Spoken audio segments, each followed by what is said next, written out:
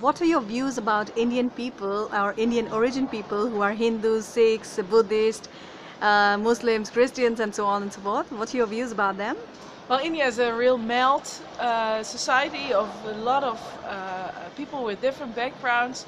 Uh, but I find when I was in India, everybody is nice, very interested, and very helpful.